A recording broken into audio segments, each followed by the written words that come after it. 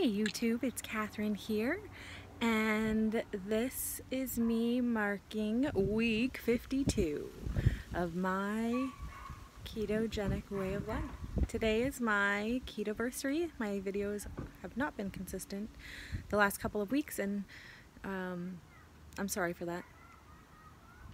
Um, so I did not meet my one year goal. My one year goal was to be 199 and I did not meet that. I am 2.7 pounds away from, well, I guess 3.7 pounds away from, from that mark, which is pretty close, but um, I was hoping for the 199 mark. So just for this week, I weighed in at 202.7 pounds, and that was a 3.5 pound loss from last week, um, which I did not video. Um, so that brings me to a total weight loss of 81.3 pounds in one year's time. Sorry. So um, that's pretty successful. Uh, not, success, not as successful as some, um, but I'm not, that's not a, a horrible number. Um, and I I'm just a slow loser in comparison to others. And I know you're not supposed to compare yourself to others, blah, blah, blah. But I think we all do, you know, especially being in a in an online forum, you do. You read everybody else's stories, you read everybody else's successes and failures, and you automatically lump yourself into that failure when you when you're not seeing, you know, the 80 pound loss in six months or what have you. But um, I'm hoping to lose 72.7 pounds in the next year. I'm giving myself another year of being keto to get to my goal weight. Um, that could be unrealistic, especially with the way that my body is losing weight. Um, but if I have, you know, within that year, a good couple of months of tracking and all of that, um, I'm, I'm hoping that I can get there. And if I don't, I don't. And next year, I guess we'll reevaluate. Um, I'm still a little indecisive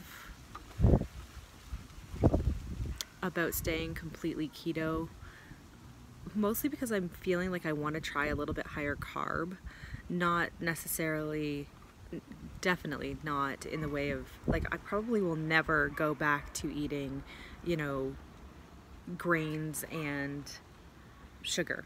Um, those two things I'm pretty sure out of my life forever. But I am not totally convinced about like not having potatoes and a little bit higher carb than keto is.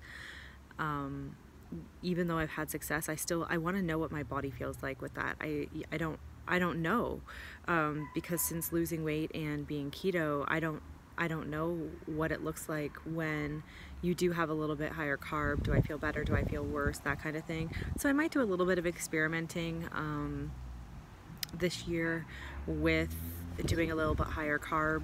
Um, I'll have to research it more. I don't really know all of the all of the ins and outs of that.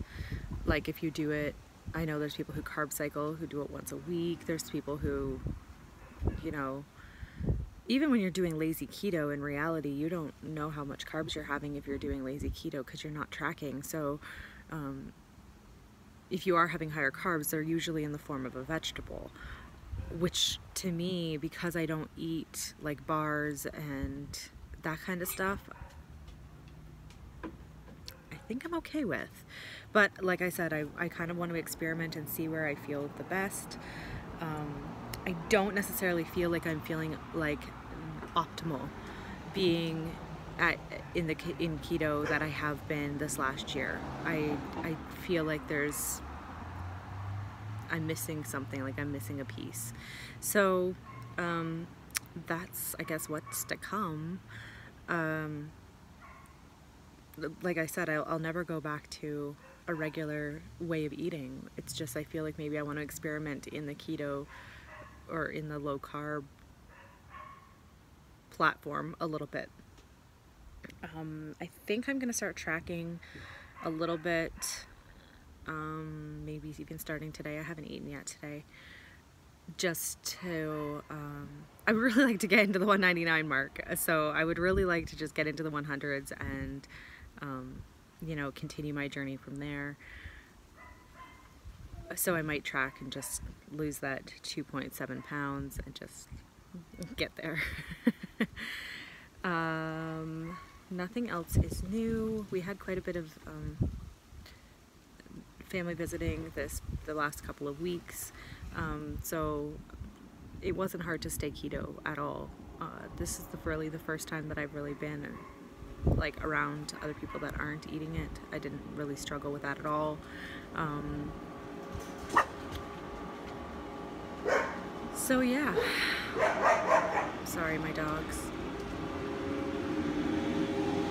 So I will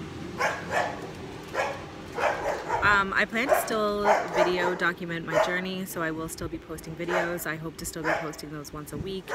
Um, like I said, during this end part here, I wasn't very good at that, but um, I would like to up that game because it is a really good documentation of it. Uh, I do take pictures. I take pictures of my progress, um, especially because I am a slow loser. Like, it's really hard to see sometimes. Like, you forget you you do not have that realization of what where you came from and where you are like you look at your body and you're like hmm, I'm the same nothing's changed but really I'm you know I'm 81 pounds different so um, I will continue my journey I hope your scales are moving I hope everybody is being successful I hope that you learn something from my mistakes and can can uh, do better by them. But thank you again for watching, and I'll see you next week. Bye.